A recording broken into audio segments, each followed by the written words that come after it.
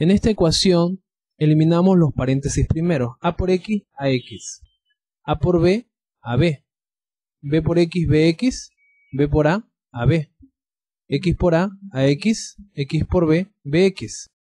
Reduzco en términos semejantes, ax más ax, 2ax, bx menos bx, 0, ab menos ab, 0, y solo queda a cuadrado. 2a, que está multiplicando la x, pasa a dividir, y se simplifica. Al simplificar, queda a en el numerador y queda 2 en el denominador. Y la respuesta es x igual a a sobre 2.